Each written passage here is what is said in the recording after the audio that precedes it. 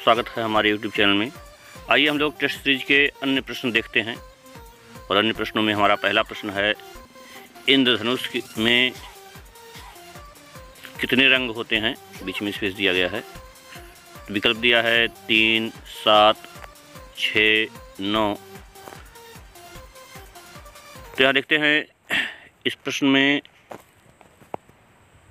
सात रंग, ये विकल्प सही है। हमारा अगला प्रश्न है, आर्ट शब्द का प्रयोग किस शताब्दी में हुआ? इसका विकल्प है ग्यारहवीं शताब्दी के अंतिम चरण में, चौदहवीं सदी के अंतिम चरण में, तेरहवीं सदी के अंतिम चरण में, इसमें से कोई नहीं। तो इसका सही उत्तर है, तेरहवीं सदी के अंतिम चरण में। अगला प्रश्न है कड़ धातु का आशय क्या है? विकल्प है क्रोधित करना, प्रसन्न करना, भयभीत करना, इनमें से कोई नहीं तो इसका सही उत्तर है प्रसन्न करना। अगला प्रश्न है, के के हैबर द्वारा रचित एक समकालीन आधुनिक भारतीय चित्र का शीर्षक है। इसमें विकल्प है, गपशप। या बातचीत, विकर्ण कविता का जन्म, तीन लड़कियाँ तो इसका सही उत्तर है कविता का जन्म। अगला प्रश्न है, कला आदि भौतिक सत्ता को व्यक्त करने का माध्यम है? किसने कहा? विकल्प है हीगल, मैथिली शरण गुप्त जयशंकर प्रसाद, महात्मा गांधी। तो इसका सही उत्तर है हीगल। हमारा अगला प्रश्न है, निम्नलिखित में से स्केच में क्या दिखता है? विकल्प है रेखीय गुण, पोत, तान, बिंदु। तो इसका सही उत्तर है रेखीय गुण। अगला प्रश्न है, उपयोगी कला किससे संबंधित है? विकल्प है मूर्ति से, स्थापत्य से, संगीत से, आभूषण से। तो ये उनसठ नंबर का प्रश्न देख रहे हैं। इसमें प्रश्न कुछ इस तरह से होना चाहिए कि उपयोगी कला, सॉरी, सही है। उपयोगी कला किससे संबंधित है? तो इसका सही उत्तर है आभूषण से, क्योंकि बकिया जो तीन कलाएँ हैं, ललित कलाओं के अंतर्गत आती है तो इसका उत्तर रहेगा आभूषण से। अगला प्रश्न है, हीगल के अनुसार निम्न श्रेणी की कला कौन सी है? दोस्तों इसका विकल्प है स्थापत्य कला, मूर्ति कला, चित्रकला, संगीत कला। तो इसका सही उत्तर है स्थापत्य कला, क्योंकि हीगल ने कहा है कि स्थापत्य कला सबसे निम्न है और काव्य कला सबसे श्रेष्ठ होती है। अगला प्रश्न है, सिंधु घाटी सभ्यता किस सामग्री से बनी हुई है? विकल्प है कंक्रीट, पत्थर, पकी हुई ईंट, धातु। तो इसका सही उत्तर है, पकी हुई ईंट। अगला प्रश्न है भित्ति चित्रण किस पर किया जाता है? विकल्प है दीवार पर, कैनवास पर, ताड़पत्र पर, कागज़ पर। तो इसका सही उत्तर है दीवार पर। अगला प्रश्न है, चित्र सूत्र का उल्लेख कहाँ मिलता है? इसका विकल्प देखिए। भगव, गरुण पुराण में, पद्म पुराण में, विष्णु धर्मोत्तर पुराण में, भगवत पुराण में। तो इसका सही उत्तर है विष्णु धर्मोत्तर पुराण। अगला प्रश्न है चित्र सूत्र में कितने प्रकार के चित्र बताए गए हैं? विकल्प है चार, दो, आठ, दस। तो इसका सही उत्तर है चार प्रकार।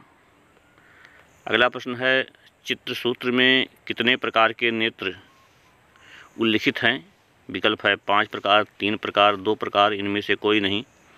तो इसका सही उत्तर है पाँच प्रकार। अगला प्रश्न है कटरा टीला मथुरा से प्राप्त बुद्ध की असनस्थ प्रतिमा किस काल से है? विकल्प है मौर्य काल शुंग काल, कुषाण काल, गुप्त काल। इसका सही उत्तर है मौर्य काल। हमारा अगला प्रश्न है, मूक भी जिसका रसास्वादन कर ले, वह कला है। यह उक्ति किसमें उल्लिखित है? विकल्प है शुक्र नीतिसार, मार्कंडेय पुराण अग्नि पुराण, चाणक्य नीति। तो इसका सही उत्तर है शुक्र नीति सार। अगला प्रश्न है, सभी बौद्ध दर्शन के साहित्य में सौंदर्य शास्त्र से संबंधित कौन सा ग्रंथ है? विकल्प है चित्रलक्षण, चित्रसूत्र, कामसूत्र, ललित विस्तार। तो इसका सही उत्तर है ललित विस्तार। हमारा अगला प्रश्न है, महाभारत में राजकुमार अनिरुद्ध का चित्र किसने बनाया था? विकल्प है चित्रलेखा, मैसूर, ऊषा, विघजित। तो इसका सही उत्तर है चित्रलेखा। अगला प्रश्न है, नाट्यशास्त्र में मूल रंग का उल्लेख है। विकल्प है लाल, पीला, श्याम। यहाँ श्याम का तात्पर्य काला से है। लाल, पीला, नीला, लाल, पीला, हरा, लाल, पीला, हरा। तो इसका सही उत्तर है लाल, पीला, श्याम। अगला प्रश्न है, संचारी भावों की संख्या बताई गई है। विकल्प है तेईस, दस।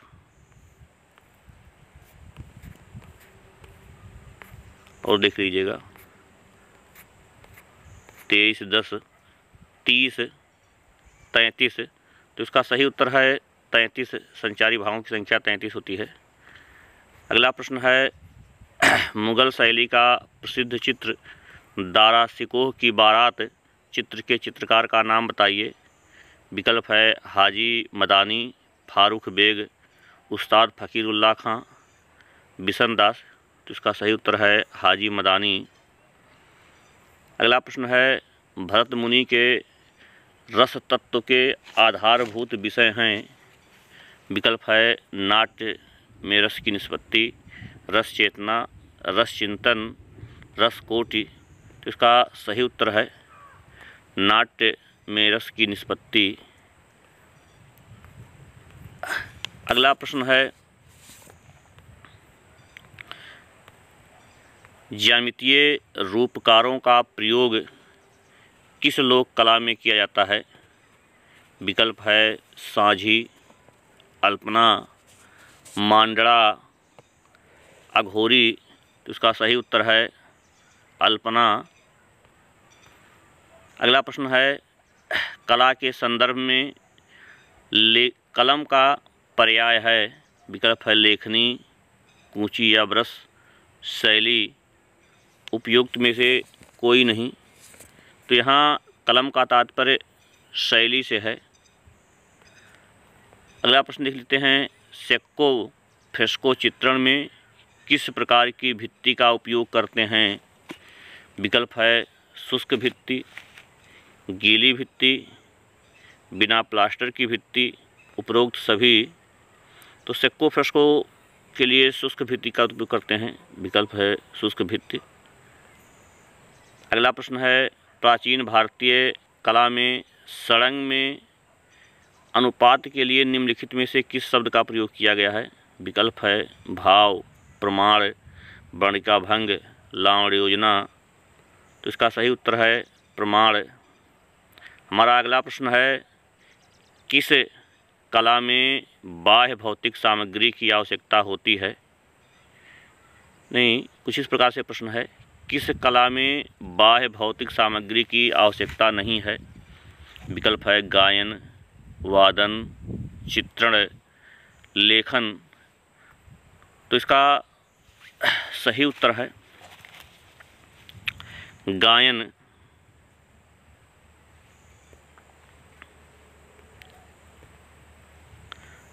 हमारा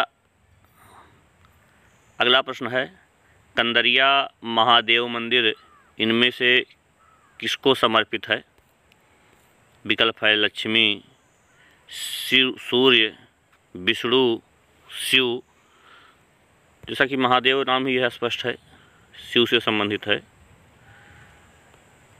अगला प्रश्न है सिग्रेफिटो विकसित हुई भारत, यूरोप, चीन, जापान।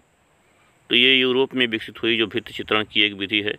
तो दोस्तों, इस वीडियो में सिर्फ़ इतना ही। शेष है। अगले वीडियो में देखेंगे हम। धन्यवाद।